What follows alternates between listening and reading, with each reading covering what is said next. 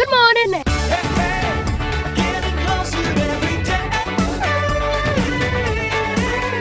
Welcome back to Yirara.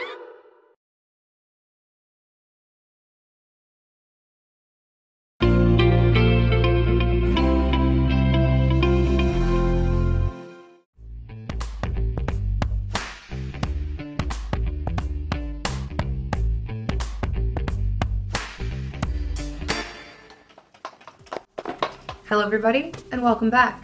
Today and this week, we're going to be looking at the concept of length. Now, last time we looked at weight and why it was important to be aware of how much things weigh and being able to read scales. Now, we're going to learn about the importance of length, why it's important to know how long certain things are, and how we can read it. So today, we're going to introduce two measurements for length, just like we introduced two measurements for weight. Those two measurements are centimeter and meter. Now, you might feel familiar with this concept, and that's because a few weeks back, Miss Sandra showed you that cent means 100. We've talked about that there's 100 cents in every dollar. That's because the word cent means 100. For example, the word century is 100 years. Another word that begins with cent is another maths word, and that's centimetre. A metre contains 100 centimetres. And that's a bit of a spoiler because we know that 100 centimeters is equal to 1 meter. But let me show you an example. I've got this ruler here and I put it up close. You can see that centimeter goes along this line. Now your average ruler is going to be about 30 centimeters long. So now if I got more rulers and I stacked them next to each other until I got 100 centimeters altogether, that would equal one meter. For example, I'm roughly 1.68 meters tall, which isn't very tall at all. Maybe just past average. Average. So I also mentioned those are some of the ways that we use measuring height. We often measure how high we are, and our height changes. So, for example, if I measure how tall my little boy is, he's not really tall, he's almost a meter. But if you measure someone really tall, like maybe Mr. Zane or Mr. Daniel, who are quite tall, they might be 1.8 or 1.9 meters, which is a lot taller than me and a lot taller than my son Titus. So, those are just two of the measurements that we use to measure how high or how long something is. We, we use centimeters and we use meters. Stay tuned, and we're going to continue to elaborate on the different ways that we measure height. For our words of the week nine, we're looking at the language of height. The first word is the word height. Now, we measure height with many different tools. Some are larger, some are smaller. We also measure many different things. Let's spell it H E I G H T, height. Now, the first word is millimeter. Millimeter is the smallest method of measurement, often used by tradies to get precise measurements. Let's spell it M I L I M E T R E, millimeter. Now, our next word is the word centimeter. You can find centimeters on your ruler to measure small things like a desk or a chair. Let's spell it C E N T I M E T R E, centimeter. Now, our next word is the word meters. We use the measurement of meters to measure things like people or even a footy oval, and sometimes even tall buildings. It's spelled M E T R E, meter. Our next word is kilometer. It's the longest form of measurement that we use to measure the distances between places, or the ocean even. It's spelled K I L O M E T R E.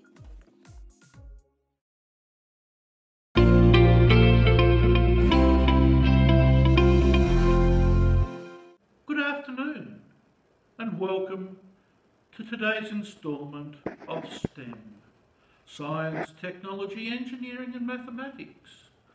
Today's session is a math-based one, and it is called call. Now, for call, apparently it involves rows, and a row goes across, and the co stands for column, so obviously going down.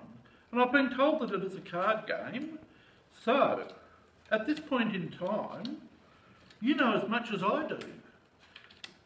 I've got some rows, I've got some columns.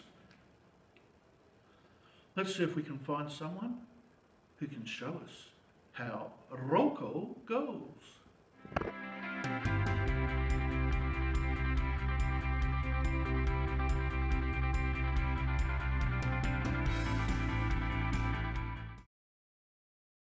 The first thing I'm going to do is turn this card over as my marker card.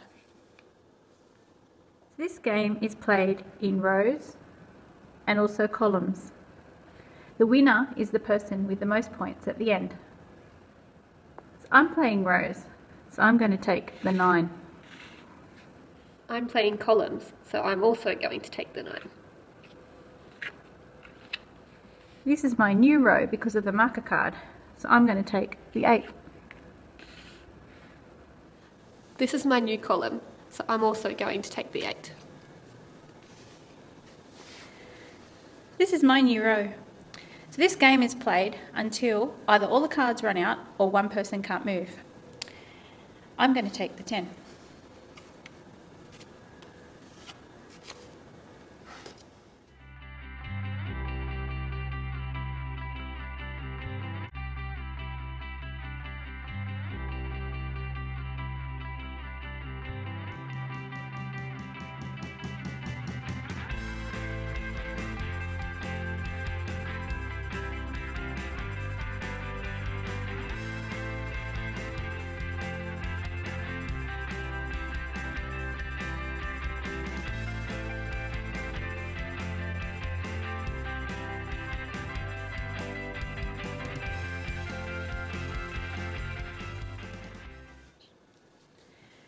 I've got no more cards in my row, so I can't move, so the game ends.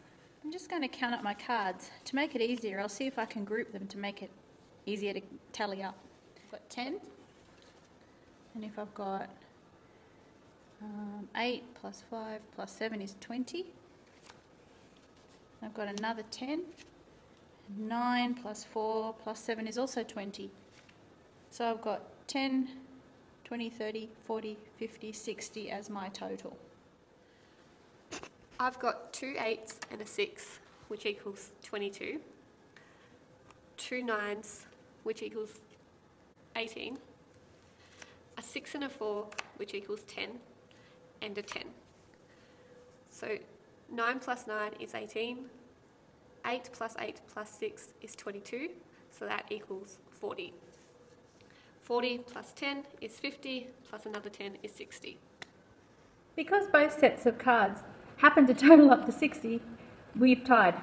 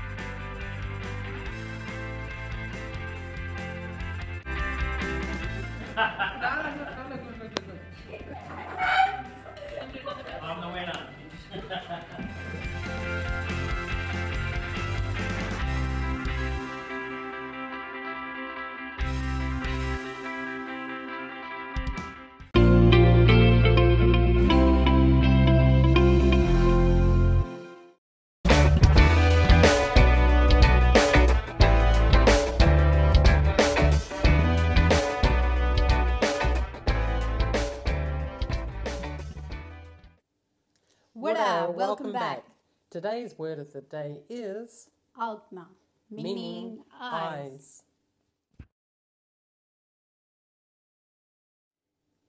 So have a go at saying, Augna. and we'll see you next time. Bye. Alkma. Alkna.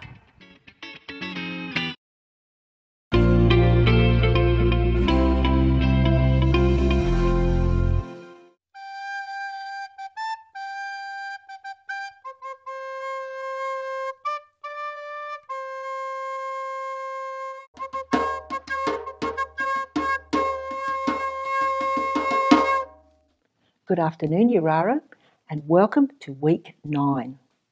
I'm sitting here in the welcome room, and it's been so quiet this term. Normally, there are about 40 students who come through this classroom on their first day at Yirara or during the first term that they are here at Yirara. But as I said, it's been so quiet. In the meantime, I hope you've enjoyed the stories about Olaf and Elsa and some of the things that they've been doing. Let's now continue with our topic persuasive writing. Remember the illustration that Miss Fleur used, the Oreo, in helping us to understand the procedure used in persuasive writing? Begin by stating your opinion, give reasons, then evidence, then restate your opinion. Now, this week's not words of the week, but phrases of the week are I am sure. I believe. I know. I am convinced. And for this reason. The word convinced, convinced. Convinced. The dictionary definition is to persuade by argument or proof, to cause to believe in the truth of what is alleged. And let's look again at our phrases that you'll be using later on in the week. I am sure, I believe, I know, I am convinced for this reason.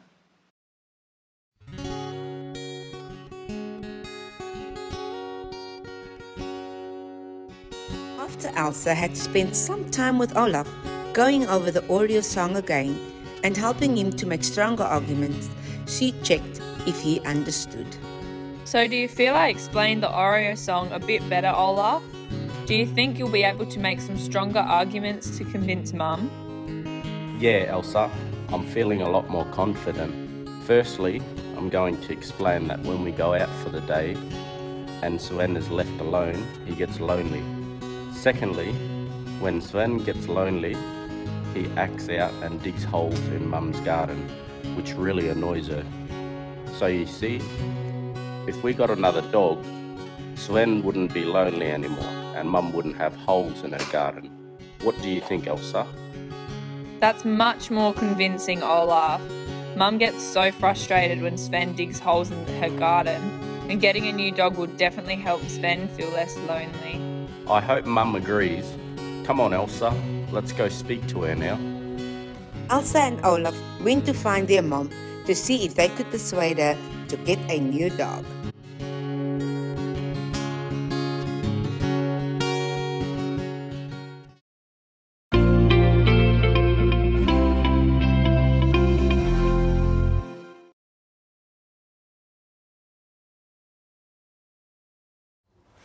Welcome to another contest segment of Yirara to You. For those of you fellas that love basketball, here's a few basic fundamentals to help improve your game.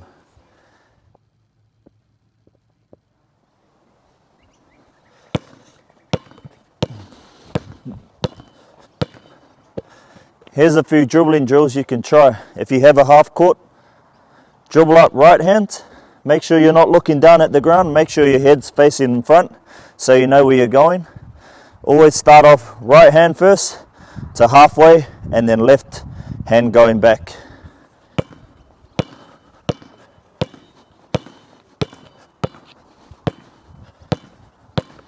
If that's too easy, try to speed it up a bit.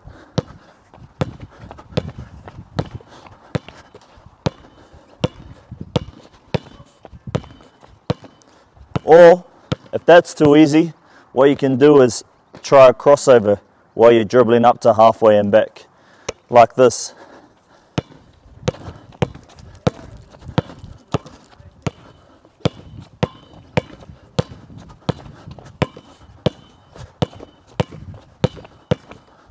Or you can try it through your legs. Same thing, two dribbles and then put it through your legs.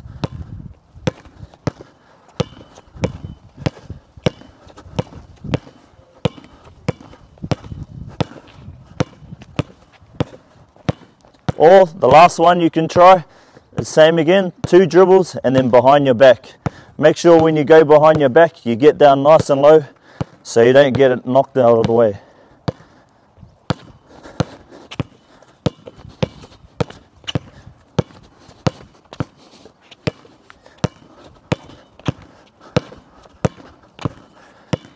So there we have it. Try those if you've got time by yourself. This, these are drills that you can try if you just got you and no one else. So work on those, improve your dribbling. Let me know how you go. Now on to our layups. Instead of doing your normal run-up layups, here's a different variation you can try. So you want to make sure you're underneath the basket and where you can see the backboard. So we're going to start off with our right hand. So if we're going right hand layup first, you want to use your right leg as well. So right hand, right leg goes up at the same time, just like this. And the same with the left hand. Left hand, left leg.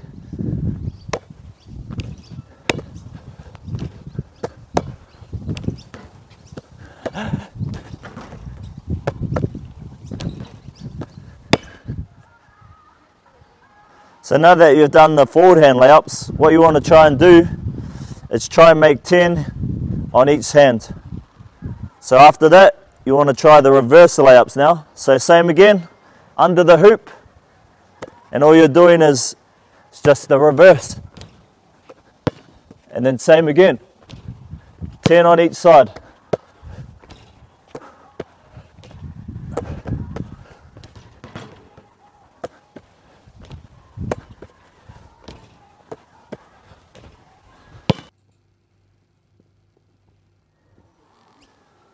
Last but not least is form shooting. So if you have a friend, you can take turns. You can shoot and then your friend can rebound or you swap over, your friend shoots, you rebound for him. So all it is is come close to the hoop. When you're getting ready to shoot, you want to make sure you're nice and low. Bend your knees and as you shoot, you want to keep your shot the same. So you want to make three and then move to the next spot.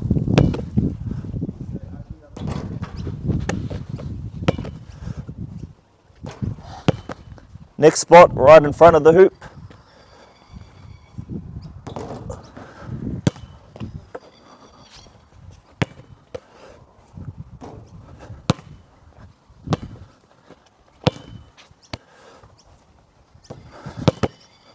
And then last spot is here.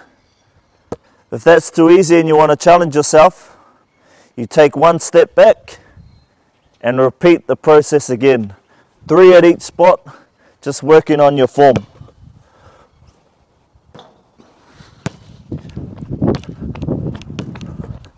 Because I don't have a friend, you got to chase your own rebounds if you miss. There it is, everyone. There's a few basic fundamentals that you can try to help improve your game. Remember to have fun while you're doing it and stay safe. Laters.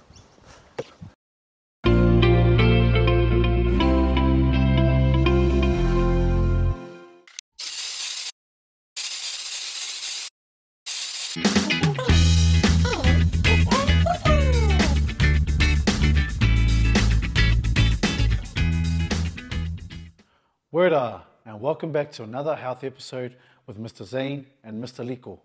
Today, we are excited to introduce to you the first part of your assessment for our choices and well-being topic we have covered this term. Come with me. Last time, we showed you all the different options that you have so you can show us just how much you understand what we have been talking about this term.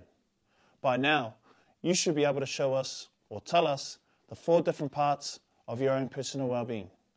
Just to remind you, they are social well-being, physical well-being, emotional well-being, and mental well-being. Today, we will break down for you the first part of your assessment. This is the brainstorm assessment. But firstly, what is a brainstorm? Let's take a look. A brainstorm is a fun and effective way for you to put down what you have learnt about this term.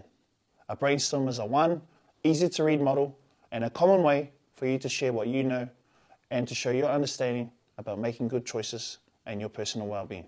Hey, Mr. Liko, what does a brainstorm look like? Thanks for that, Mr. Zane.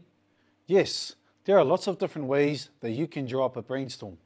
We have drawn up some of our own examples of what a brainstorm looks like to show you. Take a look at these cool models. As you can see, there is lots of space to write down all your ideas about each of the four parts of your personal well-being. Each brainstorm has been divided into four parts for you to complete. You can simply draw up your own by copying these brainstorms onto a blank piece of paper back in your community. Ah, that's right, Mr. Liko.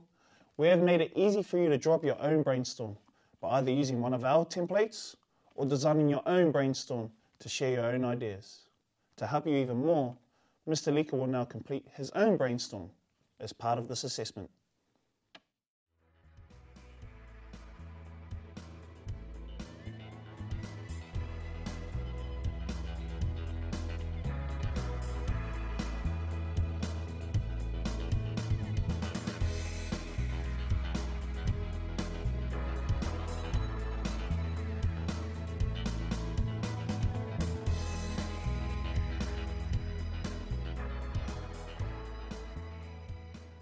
There we have it.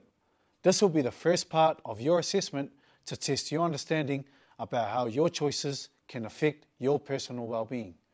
Give it your best shot and have fun creating your own brainstorm. Next time, we will introduce to you the first part of your optional assessment, which is an interview.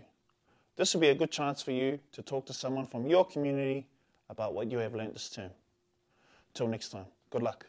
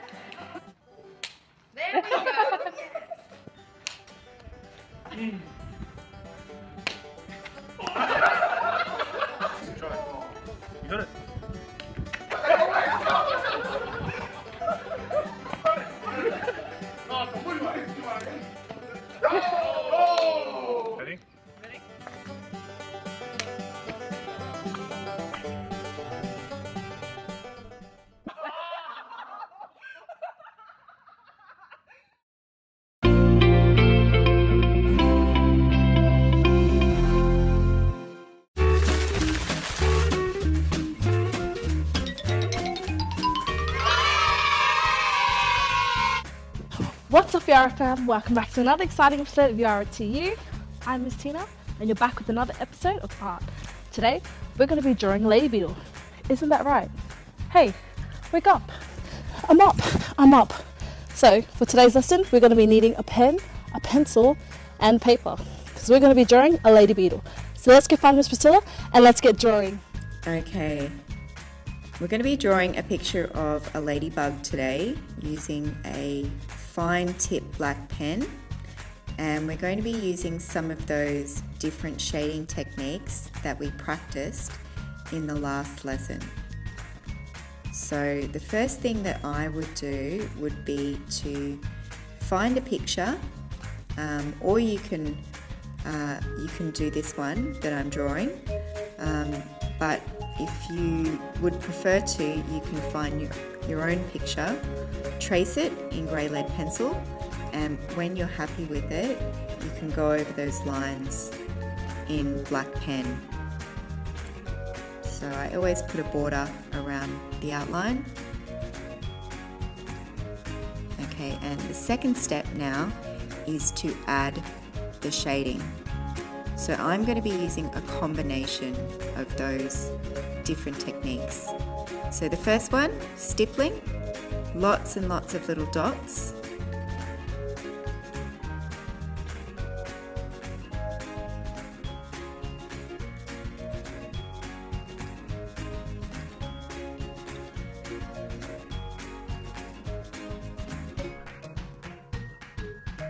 colouring in the spots.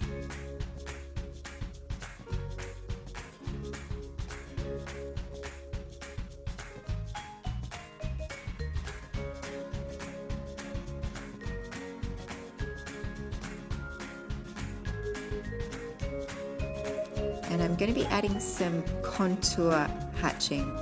So I'm following the circular motion of the ladybug and then I'm just doing some little crisscrosses to add some shading.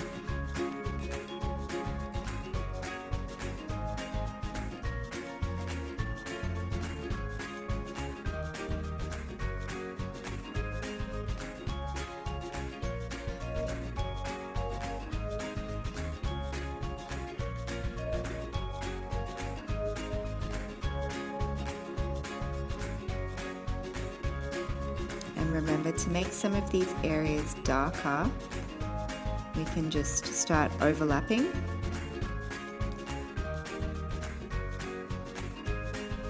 Which is what I'm doing here. I'm clustering those dots really close together to make it darker.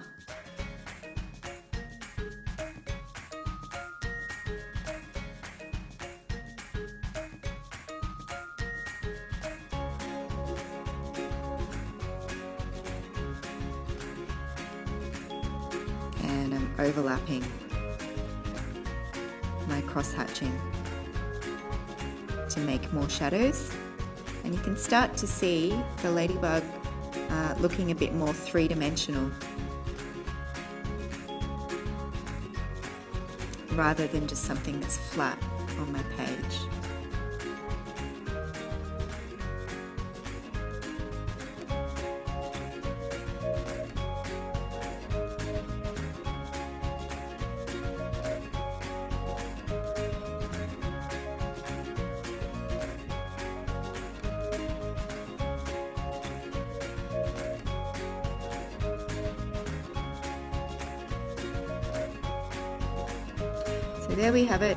Ladybug using hatching, stippling and contour hatching.